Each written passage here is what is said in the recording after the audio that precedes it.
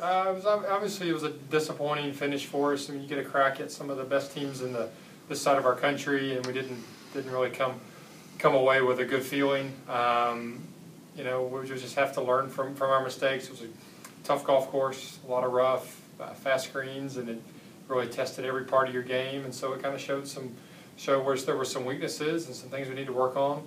Um, Jimmy continued to play really good, and uh, Jimmy's really coming along nicely. He's, he's developing into into a really good player, and he he um, he just kept the ball in front of him. He had a lot of fairways, and he, he cleaned up around the hole, and, and had some some uh, nice short game uh, going on that week as well, and, and it, it turned out to be a pretty nice finish for him.